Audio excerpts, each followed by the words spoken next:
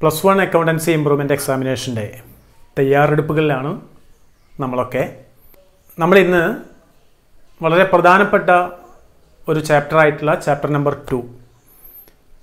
Theory base of accounting. എത്രയൊക്കെ കാലത്തോളം നമ്മൾ അക്കൗണ്ടിങ് പഠിച്ചുകൊണ്ടിരിക്കുന്നു അത്രത്തോളം കാലത്തേക്ക് നമുക്ക് ആവശ്യമുള്ള നമ്മൾ അക്കൗണ്ടിങ്ങുമായി ബന്ധപ്പെട്ട ഏത് ജോലി ചെയ്യുന്ന സാഹചര്യങ്ങളിലും നമ്മൾ അറിഞ്ഞിരിക്കേണ്ട പ്രിൻസിപ്പിൾസ് പ്രാക്ടീസസ് ആണ് സെക്കൻഡ് ചാപ്റ്ററിൽ ഉൾക്കൊള്ളുന്നത്. അപ്പോൾ പരീക്ഷയ്ക്ക് വേണ്ടി നമ്മളിത് എങ്ങനെ പഠിക്കണം എന്നുള്ളതാണ് നമ്മുടെ മുമ്പിലുള്ള ചോദ്യം. അപ്പോൾ പല കുട്ടികളും ചെയ്യുന്ന ഒരു തെറ്റ് എന്താണെന്ന് വെച്ചാൽ ഇതിനെ ബൈഹാർട്ട് ചെയ്ത് പഠിക്കും. ഈ പ്രിൻസിപ്പിൾസ് തിയറീസ് എന്തൊക്കെയാണെന്ന് ബൈഹാർട്ട് ചെയ്യും. കാണാതെ പഠിക്കും. പക്ഷേ ഈ പ്രിൻസിപ്പിൾസിന്റെ യഥാർത്ഥ ആപ്ലിക്കേഷൻ എവിടെയാണ് എന്നതിനെക്കുറിച്ച് വലിയ ധാരണ ഉണ്ടാവുകയുമില്ല. അപ്പോൾ നമ്മളിത് പഠിക്കുമ്പോൾ ശ്രദ്ധിക്കേണ്ട ഒരു കാര്യം കൃത്യമായിട്ട് ഈ പ്രിൻസിപ്പിൾസ് എന്താണ് പറയുന്നത്? നമ്മൾ അക്കൗണ്ടിങ് എന്ന വർക്കിൽ ഏർപ്പെടുന്ന സമയത്ത് ബുക്സ് ഓഫ് അക്കൗണ്ട്സുകളൊക്കെ തയ്യാറാക്കുമ്പോൾ ഫിനാൻഷ്യൽ സ്റ്റേറ്റ്മെന്റ്സ് തയ്യാറാക്കുമ്പോൾ ഏത് രീതിയിലാണ് ഈ പ്രിൻസിപ്പിൾസ് ഇവിടെ അപ്ലൈ ചെയ്യുന്നത് എന്നാണ് നമുക്ക് അറിഞ്ഞിരിക്കേണ്ടത് അപ്പോൾ നമുക്ക് കഴിഞ്ഞ വർഷങ്ങളിലെ ക്വസ്റ്റ്യൻസിന്റെ ഒരു പാറ്റേൺ നോക്കിക്കഴിഞ്ഞാൽ അറിയാം. ഒരിക്കലും ഇത് ഡയറക്റ്റ് അല്ല നമ്മളോട് ക്വസ്റ്റ്യൻ ചോദിക്കുന്നത്. ചില എക്സാമ്പിൾസ് ചില കേസുകളൊക്കെ തന്നിട്ട് ഇതിൽ ഏത് പ്രിൻസിപ്പിളാണ് ഇവിടെ അപ്ലിക്കബിൾ ആയിട്ടുള്ളത് എന്നൊക്കെയാണ് ചോദ്യങ്ങൾ വരാറ്. അപ്പോൾ നമുക്കിത് മനസ്സിലാക്കുന്നതിന് വേണ്ടി കഴിഞ്ഞ കുറച്ച് വർഷങ്ങളിലെ ക്വസ്റ്റ്യൻസൊക്കെ ഒന്ന് പരിചയപ്പെടാം. കൃത്യമായ എക്സ്പ്ലനേഷൻസും അതോടൊപ്പം നിങ്ങൾക്ക് ഈ വീഡിയോയിൽ ലഭ്യമാക്കിയിട്ടുണ്ട്. Okay question number one while preparing final accounts outstanding wages is added to wages account identify the accounting principle related with this statement final accounts prepare ചെയ്യുന്ന സമയത്ത് ഔട്ട്സ്റ്റാൻഡിംഗ് വേജസ് വേജസ് അക്കൗണ്ടിനോട് കൂടി വേജസിനോട് കൂടി ആഡ് ചെയ്യുന്നു. ഇവിടെ നമ്മൾ അപ്ലൈ ചെയ്യുന്ന accounting principle ഏതാണെന്ന് identify ചെയ്യാനാണ്. വേജസ് എന്ന് പറഞ്ഞാൽ എക്സ്പെൻസ് ആണ്. അതോടുകൂടി ആ വർഷം നമ്മൾ കൊടുത്ത് തീർക്കാനുള്ള വേജസ് കൂടി ആഡ് ചെയ്യുന്നു. ഇവിടുത്തെ പ്രിൻസിപ്പിൾ മാച്ചിങ് പ്രിൻസിപ്പിളാണ് മാച്ചിങ് പ്രിൻസിപ്പിൾ പറയുന്നത് ഒരു ഫിനാൻഷ്യൽ ഇയറിലെ എല്ലാ എക്സ്പെൻസുകളും ഒരു ഫിനാൻഷ്യൽ ഇയറിൽ നമ്മൾ കൊടുത്തതും കൊടുത്ത് തീർക്കാനുള്ളതും ആ വർഷത്തെ തന്നെ എക്സ്പെൻസ് ആണല്ലോ. അപ്പം അതുകൊണ്ട് ആ കറണ്ട് എക്സ്പെൻസിനോട് കൂടി ആ വർഷത്തെ കൊടുത്ത് തീർക്കാനുള്ള എക്സ്പെൻസ് കൂടി ആഡ് ചെയ്യണം. മാച്ചിങ് പ്രിൻസിപ്പിൾ പറയുന്നത് ഒരു ഫിനാൻഷ്യൽ ഇയറിലെ എല്ലാ എക്സ്പെൻസും ഇൻകംസും നമ്മൾ താരതമ്യം ചെയ്യണം മാച്ച് ചെയ്യണം.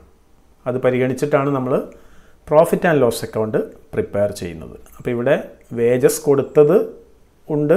അത് കൂടാതെ കൊടുത്തു തീർക്കാനുള്ള വേജസ് അതാണ് ഔട്ട്സ്റ്റാൻഡിങ് വേജസ് അത് ആ വർഷം കൊടുത്തു തീർത്ത വേജസിനോട് കൂടി കൊടുത്തു തീർക്കാനുള്ള വേജസ് കൂടി ആഡ് ചെയ്യണം. അപ്പോൾ ഇവിടെ അപ്ലൈ ചെയ്യുന്ന principle matching പ്രിൻസിപ്പിളാണ് then second identify the accounting principle related to the following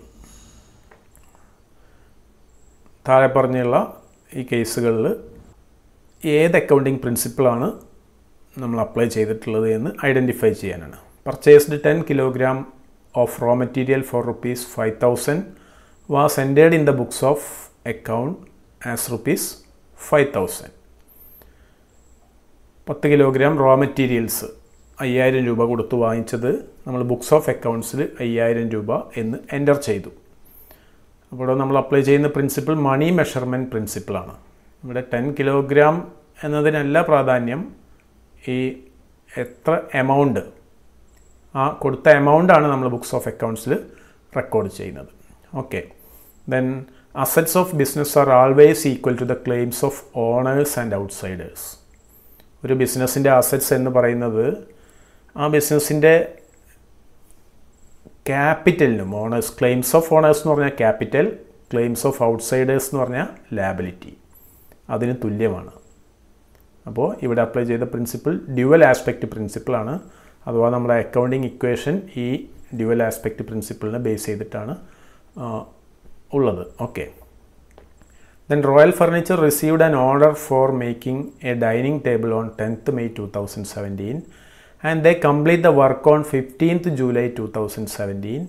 The dining table was delivered to the customer on 20th July uh, 2017 and received payment on 25th July 2017. In which date this transaction will be recorded in the books of Royal Furniture? Why?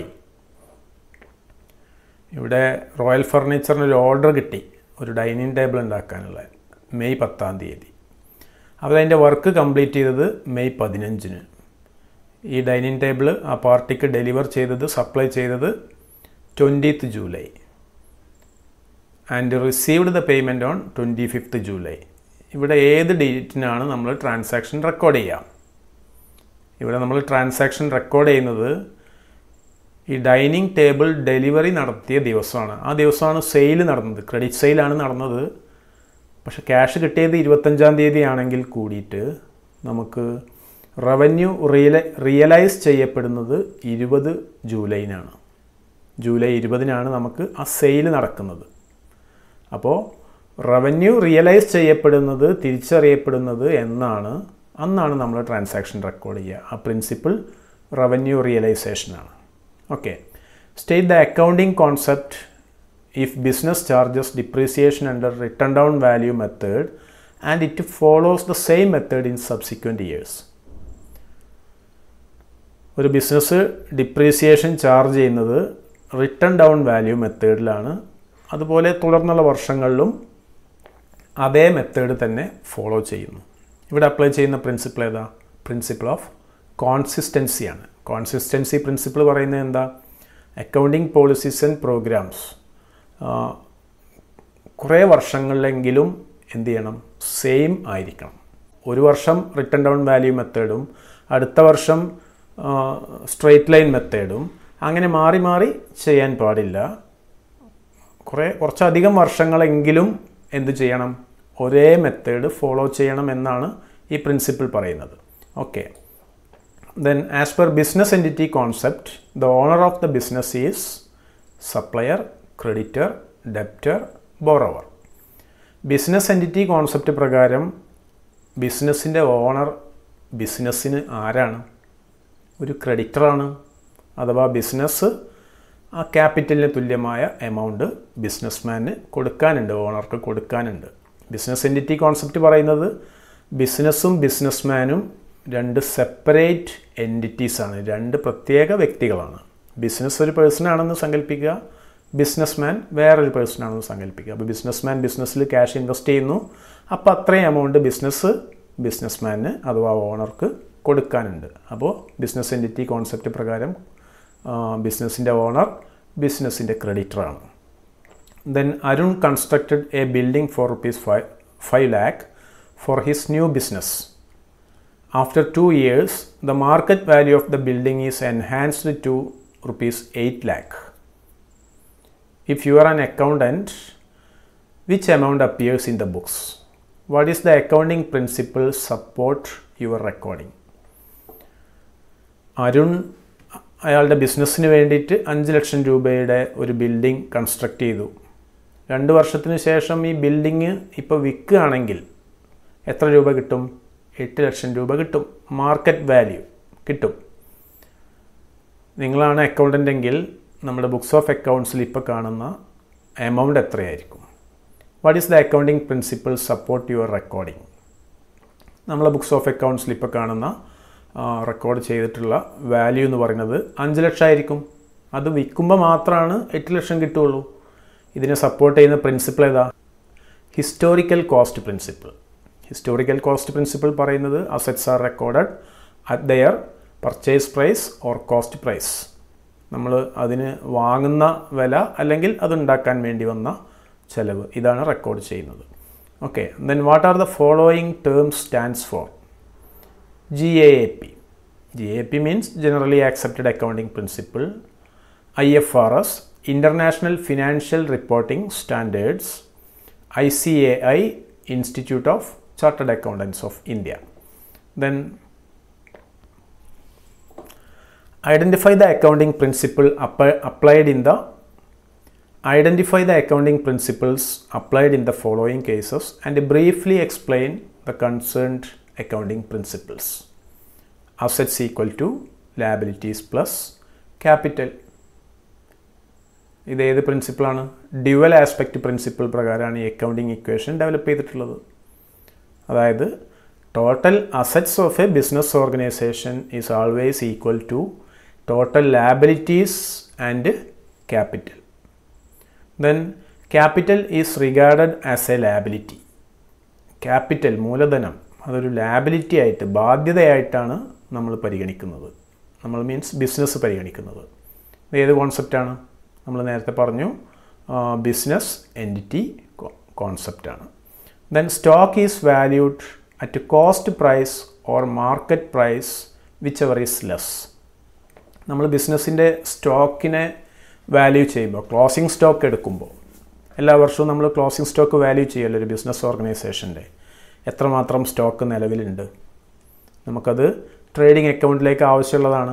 അത് value ചെയ്യുന്ന സമയത്ത് ഒന്നുകിൽ cost price അല്ലെങ്കിൽ market price whichever is less അത് നമ്മൾ ആ ആ stock നമ്മൾ വാങ്ങിയ വില അല്ലെങ്കിൽ അതിന്റെ മാർക്കറ്റ് വില.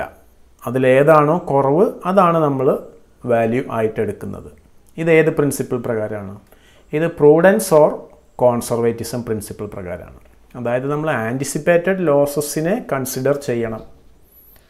ഉണ്ടായേക്കാവുന്ന വിലക്കുറവുകളെ അതുപോലെ ലോസിനെ എക്സ്പെൻസുകളെ നമ്മൾ എന്ത് ചെയ്യണം? പരിഗണിച്ചിരിക്കണം. ഫൈനൽ അക്കൗണ്ട്സ് തയ്യാറാക്കുന്ന സമയത്ത്. അതുകൊണ്ടാണ് നമ്മൾ എന്ത് പറയുന്നത്? സ്റ്റോക്ക് വാല്യൂ ചെയ്യുന്ന സമയത്ത് ഒന്നുകിൽ വാങ്ങിയ വില അല്ലെങ്കിൽ നിലവിലുള്ളതിന്റെ മാർക്കറ്റ് വാല്യൂ അതാണ് പരിഗണിക്കേണ്ടത് എന്ന് പറയുന്നത്. Okay then match the following closing stock are valued at or market price whichever is less principle of conservatism നമ്മളിപ്പോൾ പറഞ്ഞതാണ്.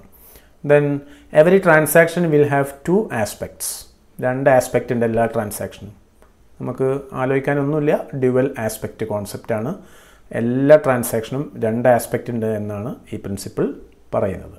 Okay all business events not recorded in accounting എല്ലാ ബിസിനസ് ഇവൻസും ബിസിനസ് ട്രാൻസാക്ഷൻസും നമ്മുടെ അക്കൗണ്ടിങ്ങിൽ റെക്കോർഡ് ചെയ്യുന്നില്ല. ഏതാണ് principle only monetary aspects are recorded അല്ലേ? പണത്തിന്റെ മൂല്യത്തിൽ പറയാൻ പറ്റിയ ഇനങ്ങൾ മാത്രമേ നമ്മൾ റെക്കോർഡ് ചെയ്യാൻ പാടുള്ളൂ. ഇവിടെ money measurement കോൺസെപ്റ്റാണ് then accounting information should be free from bias accounting information എറേഴ്സിൽ നിന്നും ബയാസ് ബയാസ് എന്ന് പറഞ്ഞാൽ ആർക്കെങ്കിലും അനുകൂലമായോ പ്രതികൂലമായോ അല്ലെങ്കിൽ എന്തെങ്കിലും കാര്യങ്ങൾ സ്പെഷ്യൽ പരിഗണന കൊടുത്ത് അധാർമികമായിട്ട് യാതൊന്നും ചെയ്യാൻ പാടില്ല. ഇതേതാ പ്രിൻസിപ്പിൾ ഒബ്ജക്റ്റിവിറ്റി പ്രിൻസിപ്പിളാണ് ഇത് പറയുന്നത്. ഒബ്ജക്റ്റിവിറ്റി പ്രിൻസിപ്പിൾ പറയുന്നത് എന്താണ്? അക്കൗണ്ടിങ് ഇൻഫോർമേഷൻ എല്ലായ്പ്പോഴും ഒബ്ജക്റ്റീവ് എവിഡൻസിനെ ബേസ് ചെയ്തിട്ടായിരിക്കണം. അഥവാ എല്ലാ ട്രാൻസാക്ഷൻസിനും എല്ലാ അക്കൗണ്ടിങ് ഇൻഫോർമേഷനും കൃത്യമായ തെളിവുകൾ ഉണ്ടായിരിക്കണം. സോഴ്സ് ഡോക്യുമെന്റ് ഉണ്ടായിരിക്കണം. അതുകൊണ്ട് ഇത് ഒബ്ജക്റ്റിവിറ്റി പ്രിൻസിപ്പിളാണ് ആൻസർ ഇവിടെ ഡിസ്പ്ലേ ചെയ്തിട്ടുണ്ട്. Okay then the fact that a business is separate and distinguished from its owner is best exemplified by dash concept ഒരു ബിസിനസ് അതിന്റെ ബിസിനസ് മാനിൽ നിന്നും വ്യത്യസ്തമായിട്ടുള്ള ഒരു വ്യക്തിയാണെന്ന് പറയുന്ന പ്രിൻസിപ്പിൾ ഏതാണ്? ഇവിടെ business entity പ്രിൻസിപ്പിളാണ് then Rajneesh a manager with great expertise in management and leading his firm very well but his expertise does not find a place in the accounting records of the firm Rajneesh ആരാണ്? ഒരു business സ്ഥാപനത്തിലെ മാനേജറാണ് അയാൾ വളരെ എക്സ്പെർട്ടാണ് business management manage ചെയ്യുന്നതിൽ അതുകൊണ്ട് തന്നെ ആ സ്ഥാപനം വളരെ നന്നായി മുന്നോട്ട് പോകുന്നു. പക്ഷേ രജനീഷിന്റെ ഈ എക്സ്പെർട്ടൈസ് എന്ത് ചെയ്യുന്നില്ല? അയാളുടെ കഴിവ് അക്കൗണ്ടിങ് റെക്കോർഡ്സിൽ എവിടെയും കാണുന്നില്ല. അയാളുടെ കഴിവ് കൊണ്ട് സ്ഥാപനത്തിന് കൂടുതൽ പ്രോഫിറ്റ് ഉണ്ടാകുന്നുണ്ട്. എന്നാൽ പോലും ബുക്സ് ഓഫ് അക്കൗണ്ട്സിലൊന്നും കാണുന്നില്ല. എന്തായിരിക്കും കാരണം? ഏതായിരിക്കും അതിന്റെ principle is it genuine according to the rules of accounting ഇത് അക്കൗണ്ടിങ് റൂൾസ് പ്രകാരം ശരിയാണോ? State your answer with reason ഇത് അക്കൗണ്ടിങ് റൂൾസ് പ്രകാരം കറക്റ്റാണ് എന്താ കാരണം? Only monetary aspects are recorded in the books of accounts നമ്മൾ ബുക്സ് ഓഫ് അക്കൗണ്ട്സ് രേഖപ്പെടുത്തുന്നത് പണത്തിന്റെ മൂല്യത്തിലുള്ള സംഭവങ്ങൾ മാത്രമാണ് അപ്പോൾ അതുകൊണ്ട് ഇവിടെ അപ്ലൈ ചെയ്തിട്ടുള്ള പ്രിൻസിപ്പിൾ ഏതാണ്? Money measurement principle or concept then state the relevant principle or concepts statements ഉണ്ട്. ഇവിടെ നമ്മൾ റിലേറ്റഡ് പ്രിൻസിപ്പിൾസ് ഓർ കോൺസെപ്റ്റ്സ് ഏതാണെന്ന് എഴുതുകയാണ് വേണ്ടത്. Owner and business have separate existence ഓണറും ബിസിനസ്സും രണ്ട് വ്യക്തികളാണ് അല്ലെങ്കിൽ പ്രത്യേകമായിട്ടുള്ള രണ്ട് എന്റിറ്റീസാണ് നമ്മൾ പല ക്വസ്റ്റ്യൻസും ഇപ്പോൾ ഇതേ സെയിം ബിസിനസ് എന്റിറ്റി കോൺസെപ്റ്റിന്റെ കാര്യമാണത് കണ്ടു. അപ്പോൾ അതിന്റെ answer business entity concept then second recording monetary events only monetary aspects are recorded money measurement കോൺസെപ്റ്റാണ് business has got indefinite life ഒരു ബിസിനസ്സിന് നമുക്ക് മുൻകൂട്ടി തീരുമാനിക്കാനാവാത്ത അത്രയും കാലം. അതായത് ഒരിക്കലും ബിസിനസ്സിന്റെ ലൈഫ് അവസാനിക്കുന്നില്ല ബിസിനസ് അവസാനിക്കുന്നില്ല എന്ന് പറയുന്ന പ്രിൻസിപ്പിൾ ഏതാണ്? ഗോയിങ് കൺസേൺ അപ്പോൾ ഗോയിങ് എന്ന് പറഞ്ഞാൽ നമ്മൾ മനസ്സിലാക്കുക going concern principle states that the every business have an indefinite life then നാലാമത്തെ follow same accounting practices year after year എല്ലാ വർഷവും ഒരേ അക്കൗണ്ടിങ് പ്രാക്ടീസസ് തന്നെ ഫോളോ ചെയ്യുക. നമ്മൾ ഡിപ്രീസിയേഷന്റെ കാര്യം പറഞ്ഞു രണ്ട് മെത്തേഡ് ഉണ്ട്. Diminishing balance straight line method ഈ മെത്തേഡ് ഒരു വർഷം സ്ട്രെയിറ്റ് ലൈൻ മെത്തേഡ് എടുത്തു. രണ്ടാമത്തെ വർഷം ഡിമിനിഷിങ് ബാലൻസ് എടുത്തു. അങ്ങനെ പാടില്ല എന്ന് പറയുന്ന പ്രിൻസിപ്പിളാണ് കോൺസിസ്റ്റൻസി സ്ഥിരത. കോൺസിസ്റ്റന്റ് ആയിട്ട് ഒരേ പ്രിൻസിപ്പിൾ ഫോളോ ചെയ്യണം. ഒരേ പ്രാക്ടീസസ് ഫോളോ ചെയ്യണം. Then stock is valued at cost price or market price whichever is less ഏതാണ് principle prudence or conservatism prudence പ്രിൻസിപ്പിളിനെ തന്നെയാണ് നമ്മൾ കോൺസർവേറ്റിസം പ്രിൻസിപ്പിൾ എന്ന് പറയുന്നത്. Then compare expenses with revenues of an accounting period ഒരു accounting പീരീഡിലെ ഒരു സാമ്പത്തിക വർഷത്തിലെ എക്സ്പെൻസുകളെയും റവന്യൂസിനെയും താരതമ്യം ചെയ്യുക. അതിനുവേണ്ടി നമ്മൾ തയ്യാറാക്കുന്ന അക്കൗണ്ടാണ് trading profit and loss account ഇത് ഏത് പ്രിൻസിപ്പിളാണ് മാച്ചിങ് പ്രിൻസിപ്പിളാണ് നമ്മൾ നേരത്തെ വേറൊരു ക്വസ്റ്റ്യൻ കണ്ടിരുന്നു. മാച്ചിങ് പ്രിൻസിപ്പിൾ പ്രകാരമാണ് എല്ലാ എക്സ്പെൻസുകളെയും നമ്മൾ റവന്യൂവുമായിട്ട് താരതമ്യം ചെയ്യുന്നത്. Okay then every transaction has two aspects which will be recorded in the books of accounts എല്ലാ ട്രാൻസാക്ഷനും രണ്ട് ആസ്പെക്റ്റ് ഉണ്ട്. ഒന്നും ആലോചിക്കാനില്ല. ഇവിടെ അപ്ലൈ ചെയ്യുന്ന പ്രിൻസിപ്പിൾ ഡ്യുവാലിറ്റി പ്രിൻസിപ്പിൾ അല്ലെങ്കിൽ ഡ്യുവൽ ആസ്പെക്റ്റ് പ്രിൻസിപ്പിൾ എന്ന് എഴുതാവുന്നതാണ്. Then narrate transaction which effects only the asset side of an accounting equation asset സൈഡിനെ മാത്രം എഫക്റ്റ് ചെയ്യുന്ന ട്രാൻസാക്ഷൻ എക്സാമ്പിളാണ് sold goods worth rupees thousand അഥവാ ആയിരം രൂപയുടെ അസറ്റ്സ് നമ്മുടെ കയ്യിൽ കുറഞ്ഞു ഗുഡ്സ് കുറഞ്ഞു അതേസമയം ആയിരം രൂപ ക്യാഷ് കൂടുകയും ചെയ്തു. Okay then match the following ആണ്. അപ്പോൾ ഇതിൽ നമ്മൾ ഈ എ കോളത്തിൽ വരുന്ന ഐറ്റംസ് പ്രിൻസിപ്പിൾസ് ആണ് ഇവിടെ പറഞ്ഞിട്ടുള്ളത്. അതിന് അതിനെ മാച്ച് ചെയ്യുന്ന ഐറ്റം ഏതാണ്? മാച്ചിങ് കൺസെപ്റ്റ് അനുസരിച്ചിട്ടാണ് നമ്മൾ സാലറി ഔട്ട്സ്റ്റാൻഡിങ് എക്സ്പെൻസ് ഔട്ട്സ്റ്റാൻഡിങ്ങുകൾ എക്സ്പെൻസിനോട് കൂടി ആഡ് ചെയ്യുന്നത്. അഥവാ ഒരു ഫിനാൻഷ്യൽ ഇയറിലെ എക്സ്പെൻസുകളുടെ കൂടെ ആ വർഷത്തെ അത് കൊടുക്കാനുള്ള എക്സ്പെൻസ് കൂടി നമ്മൾ ആഡ് ചെയ്യണം. കാരണം അത് ആ ഫിനാൻഷ്യൽ ഇയറിലെ എക്സ്പെൻസാണ് മണി മെഷർമെന്റ് കോൺസെപ്റ്റ് പ്രകാരമാണ് നമ്മൾ എഫിഷ്യൻസി ഓഫ് ലേബർ റെക്കോർഡ് ചെയ്യാത്തത്. തൊഴിലാളികളുടെ വൈദഗ്ധ്യം നമ്മൾ അക്കൗണ്ടിങ് റെക്കോർഡുകൾ റെക്കോർഡ് ചെയ്യുന്നില്ല. എന്താ കാരണം? It is on the basis of money measurement concept only monetary aspects are recorded in the books of accounts then conservatism principle പ്രകാരമാണ് നമ്മൾ എന്ത് ചെയ്യുന്നത്? പ്രൊവിഷൻ ഫോർ ബാഡ് ഡെപ്റ്റ് ക്രിയേറ്റ് ചെയ്യുന്നത്. കോൺസർവേറ്റിസം പ്രിൻസിപ്പിൾ എന്താ പറയുന്നത്? ഭാവിയിൽ ഉണ്ടായേക്കാവുന്ന നഷ്ടങ്ങളെ നമ്മൾ പരിഗണിക്കണം. ഫിനാൻഷ്യൽ സ്റ്റേറ്റ്മെന്റ്സ് തയ്യാറാക്കുന്ന സമയത്ത്. അപ്പോൾ പ്രൊവിഷൻ ഫോർ ബാഡ് ഡെപ്റ്റ് അതായത് അടുത്ത വർഷം ഉണ്ടാകാൻ സാധ്യതയുള്ള ബാഡ് ഡെപ്റ്റ് കിട്ടാക്കടം നമ്മൾ പരിഗണിക്കുന്നത് ബുക്സ് ഓഫ് അക്കൗണ്ട്സിൽ റെക്കോർഡ് ചെയ്യുന്നത് പ്രോഫിറ്റ് ആൻഡ് ലോസ് അക്കൗണ്ടിൽ നമ്മളൊരു എക്സ്പെൻസ് ആയി കാണിക്കുന്നത് ഏത് പ്രിൻസിപ്പിളിനെ ബേസ് ചെയ്തിട്ടാണ്? കോൺസർവേറ്റിസം പ്രിൻസിപ്പിളിനെ ബേസ് ചെയ്തിട്ടാണ്. ദെൻ വൗച്ചേഴ്സ് ആൻഡ് ബിൽസ് സ്ഥാപനം വൗച്ചറുകളും ബില്ലുകളും സൂക്ഷിക്കുന്നത് ഏത് പ്രിൻസിപ്പിളാണ് വേരിഫയബിൾ ഒബ്ജക്റ്റീവ് പ്രിൻസിപ്പിൾ അനുസരിച്ചാണ് കാരണം തെളിവുകൾ വേണം എല്ലാ ട്രാൻസാക്ഷനും തെളിവുകൾ വേണം എന്നാണ് വെരിഫൈ വെരിഫയബിൾ ഒബ്ജക്റ്റീവ് പ്രിൻസിപ്പിൾ പറയുന്നത്. Then which one of the following principles of accounting helps to equate the assets of a firm with liabilities ഏത് പ്രിൻസിപ്പിളാണ് സ്ഥാപനത്തിന്റെ അസറ്റ്സും ലാബിലിറ്റീസും എല്ലായ്പ്പോഴും ഈക്വൽ ആണെന്ന് പറയുന്നത്. Duality principle or dual aspect principle then which assumption of accounting states that the capital supplied by a proprietor is a liability to business describe it one or two sentences അല്ലേ? ഇവിടുത്തെ principle ഏതാണ്? Business entity or accounting entity പ്രിൻസിപ്പിളാണ് this principle states that the business and businessman are two separate entities business entity principle പ്രകാരം ബിസിനസ്സും business മാനും രണ്ട് പ്രത്യേക വ്യക്തികളാണ്. Then the policy of anticipating no profit and providing for all possible losses arise due to the convention of matching conservatism historical cost consistency അതായതാണ് നമ്മൾ anticipated പ്രോഫിറ്റിനെ നമ്മൾ പരിഗണിക്കേണ്ട.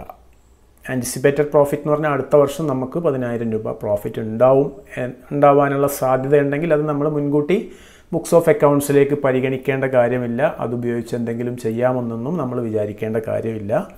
അതേസമയം providing for all possible losses അടുത്ത വർഷങ്ങളിൽ ഉണ്ടായേക്കാവുന്ന നഷ്ടങ്ങളെ സാധ്യതയുള്ള നഷ്ടങ്ങളെ നമ്മൾ മുൻകൂട്ടി പരിഗണിക്കണം.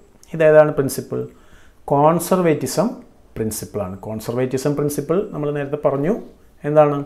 Anticipated losses must be considered while preparing financial statements then Newton scientific theory tells that for every action there is an equal and opposite reaction Isaac ന്യൂട്ടന്റെ തിയറിയാണ് ഒരു ആക്ഷന് തുല്യമായിട്ടുള്ള മറ്റൊരു റിയാക്ഷൻ ഉണ്ടായിരിക്കും. നമ്മൾ അക്കൗണ്ടിങ്ങിൽ ഇതിന് തുല്യമായ പ്രിൻസിപ്പിൾ ഏതാണ്? Identify the accounting principle which is almost similar to this theory explain the principle by citing an example നമ്മുടെ ഇതിനോട് ബന്ധമുള്ള നമ്മുടെ തിയറിയാണ് dual aspect principle or duality principle. അതിനെ എക്സ്പ്ലെയിൻ ചെയ്യുന്ന ഒരു example started business with cash rupees fifty thousand ഏത് ട്രാൻസാക്ഷനും എഴുതാം. ഇന്ന ട്രാൻസാക്ഷൻ വേണമെന്ന് നിർബന്ധമൊന്നുമില്ല. ഇവിടെ ബിസിനസ് ആരംഭിച്ചു. അപ്പോൾ ബിസിനസ്സിൽ ക്യാഷ് എന്ന് പറയുന്ന അസറ്റ് വന്നു. അതേസമയം നമുക്ക് അസറ്റ് കൂടിയതിനോടൊപ്പം നമ്മുടെ ലാബിലിറ്റി സൈഡിൽ എന്ത് ചെയ്തു? അവിടെ ക്യാപിറ്റൽ എന്ന് പറയുന്ന ഒരു ബാധ്യത ഇൻക്രീസ് ചെയ്തു. Then transactions relating to qualitative aspect of business are not recorded because of money measurement concept qualitative aspect record ചെയ്യാത്തത് നേരത്തെ പറഞ്ഞ മാനേജറുടെ കഴിവ് റെക്കോർഡ് ചെയ്യുന്നില്ല. അല്ലെങ്കിൽ അവരുടെ കഴിവിനെ റെക്കോർഡ് ചെയ്യുന്നില്ല. എന്തുകൊണ്ടാണ്? അക്കൗണ്ടിങ്ങിൽ റെക്കോർഡ് ചെയ്യുന്നത് മോണിറ്ററി വാല്യൂ ഉള്ള ആസ്പെക്ട്സ് മാത്രമാണ്.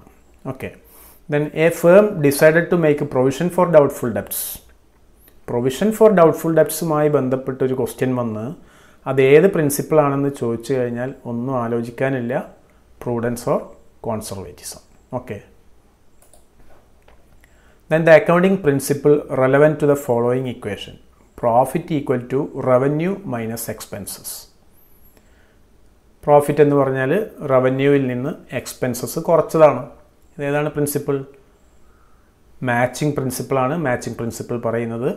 ഓരോ വർഷത്തെയും എക്സ്പെൻസുകൾ അതേ വർഷത്തെ റവന്യൂവുമായിട്ട് നമ്മൾ താരതമ്യം ചെയ്യണം മാച്ച് ചെയ്യണം. Okay a firm valued it stock at a higher market price though its cost price was lower is there any violation of accounting principle ഒരു സ്ഥാപനം എന്ത് ചെയ്തു?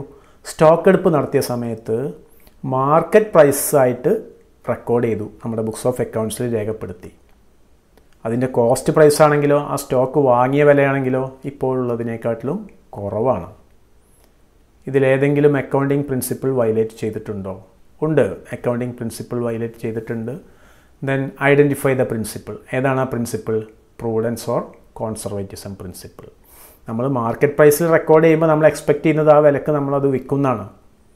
അതായത് ഒരു ഭാവിയിലുള്ള ഒരു പ്രോഫിറ്റിനെയാണ് നമ്മൾ പരിഗണിച്ചത്. അത് പരിഗണിക്കാൻ പാടില്ല. ഭാവിയിലുള്ള ലോസിനെ മാത്രമേ പരിഗണിക്കാൻ പാടുള്ളൂ. Give the meaning of that principle ഈ പ്രിൻസിപ്പിളിന്റെ മീനിങ് പറയാനാണ് രണ്ട് മാർക്കിന്റെ ക്വസ്റ്റനാണ് മീനിങ് എന്താണ്? While preparing financial statements the anticipated losses must be considered അത്രമാത്രം എഴുതിയാൽ മതി. നമ്മൾ ഫിനാൻഷ്യൽ സ്റ്റേറ്റ്മെന്റ്സ് തയ്യാറാക്കുന്ന സമയത്ത് ആന്റിസിപ്പേറ്റഡ് ലോസസ് നമ്മൾ പ്രതീക്ഷിക്കുന്ന നഷ്ടങ്ങളെയാണ് പരിഗണിക്കേണ്ടത്. പ്രോഫിറ്റിനെ പരിഗണിക്കാൻ പാടില്ല. Then identify the accounting principles or concepts involve in the following mister Srinath owner of the business invested rupees ten thousand in business he is treated as a creditor of the business to the the extent of rupees 10000 and his capital account is credited with the amount. Srinath പതിനായിരം രൂപ invest ചെയ്ത് ബിസിനസ്സിൽ അയാളെ നമ്മുടെ ക്രെഡിറ്ററായിട്ട് ബിസിനസ്സിന്റെ ക്രെഡിറ്ററായിട്ട് പരിഗണിച്ച് അയാളുടെ capital അക്കൗണ്ടിനെ credit ചെയ്തു. നമ്മൾ പറഞ്ഞു കഴിഞ്ഞതാണ് it is business entity concept all transaction recorded in the books of accounts must have supporting documents in evidence of it books of അക്കൗണ്ട്സിൽ രേഖപ്പെടുത്തി വെച്ച എല്ലാ ട്രാൻസാക്ഷനും ഒരു തെളിവുണ്ടായിരിക്കണം. ആ പ്രിൻസിപ്പിൾ ഏതാണ്? വേരിഫയബിലിറ്റി ആൻഡ് ഒബ്ജക്റ്റിവിറ്റി പ്രിൻസിപ്പിളാണ് then closing stock is valued at cost price or market price whichever is less closing stock value ചെയ്യുന്നത് വാങ്ങിയ വിലയിലോ മാർക്കറ്റ് വിലയിലോ ഏതാണോ കുറവ് ആ പ്രിൻസിപ്പിൾ പ്രൂഡൻസ് ഓർ കോൺസർവേറ്റീവ്സ് നമ്മൾ ആൾറെഡി ഡിസ്കസ് ചെയ്തതാണ് A firm purchased pen and paperweight and included this item under the head stationery. Identify the relevant accounting principle. ഒരു സ്ഥാപനം പേനയും പേപ്പർ വെയ്റ്റും ഒക്കെ വാങ്ങിയിട്ട് സ്റ്റേഷനറി എന്ന് പറഞ്ഞൊരു എക്സ്പെൻസ് ആയിട്ട് അതിനെ റെക്കോർഡ് ചെയ്തു. ഇവിടെ അപ്ലൈ ചെയ്ത പ്രിൻസിപ്പിൾ ഏതാണ്? പേനയും പേപ്പർ വെയ്റ്റും ഒക്കെ നമുക്ക് വേണമെങ്കിൽ അസറ്റാണെന്ന് പറയാലോ? പക്ഷേ എന്തുകൊണ്ട് അത് അസറ്റായിട്ട് നമ്മുടെ ബാലൻസ് ഷീറ്റിൽ കാണിക്കുന്നില്ല? It is on the basis of materiality principles അതായത് material importance should be considered while preparing financial statements അതായത് നമ്മൾ വാങ്ങുന്ന ഇനങ്ങളുടെ അതിന്റെ പ്രാധാന്യം കൂടി പരിഗണിക്കണം. ഒരു അസറ്റായിട്ട് നമ്മളത് പരിഗണിക്കണമെങ്കിൽ അതിന്റെ പ്രാധാന്യം ബിസിനസ്സിൽ എത്രത്തോളം ഉണ്ട് എന്ന കാര്യം കൂടി പരിഗണിക്കണം എന്നാണ് ഈ മെറ്റീരിയാലിറ്റി പ്രിൻസിപ്പിൾ പറയുന്നത്. Then mister Suresh started a business he is used his household furniture worth rupees 10000 in the business. So he no depreciation need to be charged as he did in purchase the furniture from outside. Whether the decision is correct or not. Suresh business ആരംഭിച്ചപ്പോൾ അയാളുടെ വീട്ടിൽ നിന്ന് കൊണ്ടുവന്ന പതിനായിരം രൂപയുടെ furniture അവിടെ ഉപയോഗിച്ചു. അതുകൊണ്ട് തന്നെ അയാൾ ആ ഫർണിച്ചറിന് ഡിപ്രീസിയേഷൻ ചാർജ് ചെയ്യണ്ട എന്ന് തീരുമാനിക്കുകയാണ്. ഇത് കറക്റ്റാണോ കറക്റ്റല്ല കാരണം ബിസിനസ്സിലുള്ള ഓരോ ഫിക്സഡ് അസറ്റിനും ആവശ്യമായ ഡിപ്രീസിയേഷൻ ചാർജ് ചെയ്തിരിക്കണം. അത് വീട്ടിൽ നിന്ന് കൊണ്ടുവന്ന് കൊണ്ടുവന്നതാണെങ്കിലും അതിനൊരു വാല്യൂ ഉണ്ട്. ആ വാല്യൂ നമ്മൾ ബുക്സ് ഓഫ് അക്കൗണ്ട്സിൽ റെക്കോർഡ് ചെയ്യുന്നുണ്ട്. അതുകൊണ്ട് ഡിപ്രീസിയേഷൻ നിർബന്ധമായിട്ടും ചാർജ് ചെയ്യണം.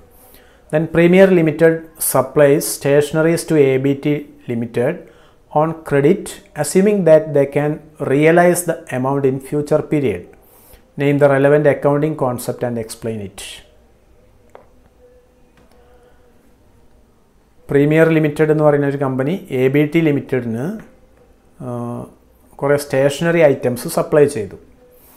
The can realise the amount in future period ഭാവിയിൽ അത് കിട്ടും ആ ക്യാഷ് കിട്ടും എന്നവർ അസ്യൂം ചെയ്യാണ്. Name the accounting concept and explain it going concern മുൻ സ്ഥാപനം ഒരിക്കലും അവസാനിക്കുന്നില്ല. സ്ഥാപനം നിർത്താനുള്ളതല്ല. Every business concern have an indefinite life അതുകൊണ്ടാണ് അത് ഭാവിയിൽ കിട്ടുമെന്ന് പ്രതീക്ഷിക്കുന്നത് ആ പ്രിൻസിപ്പിളാണ്. Going concern then revenue is generally recognised being earned at when cash is received the goods are delivered, sale is effected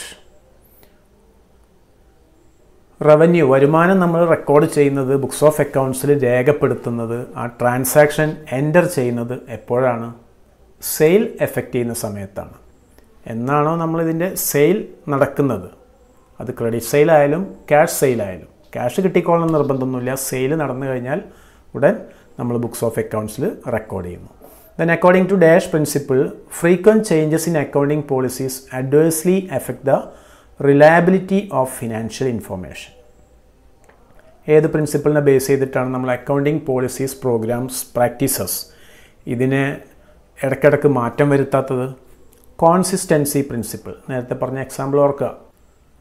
straight line മെത്തേഡും written down value മെത്തേഡും then a machinery was purchased for rupees ten thousand spend rupees thousand for its installation the market value of the machinery is rupees fifteen thousand the cost that should be recorded is ഒരു machinery വാങ്ങി പതിനായിരം രൂപക്ക്.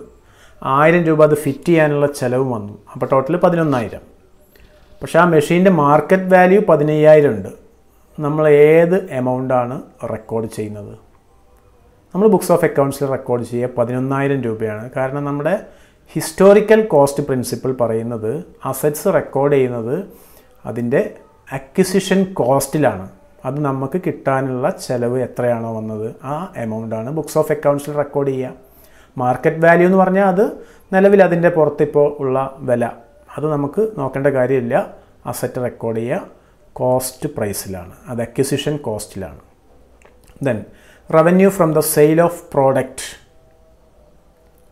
ordinarily is reported as a part of earning in the period when the sale is made ഒരു ഉൽപ്പന്നം വിൽക്കുമ്പോൾ കിട്ടുന്ന revenue record ചെയ്യുന്നത് എപ്പോഴാണ്? അത് റിപ്പോർട്ട് ചെയ്യുന്നത്? The sale is made. Sale നടന്നു കഴിഞ്ഞാൽ മാത്രമേ അത് റെക്കോർഡ് ചെയ്യുള്ളൂ. ഓക്കെ? ഓക്കെ അപ്പോൾ ഈ രീതിയിലുള്ള ക്വസ്റ്റ്യൻസാണ് നമുക്ക് പബ്ലിക് എക്സാമിനേഷനുകളിൽ ചോദിക്കുക. ഒരിക്കലും നേരിട്ട് ഒരു പ്രിൻസിപ്പിൾ എന്താണെന്ന് എഴുതി വെക്കാനല്ല പറയുന്നത്. ചില എക്സാമ്പിൾസിലൂടെ ചില കേസിലൂടെ നമ്മുടെ അറിവിനെ അളക്കുകയാണ് ഈ ചാപ്റ്ററിലൂടെ ചെയ്യുന്നത്. ഓക്കെ?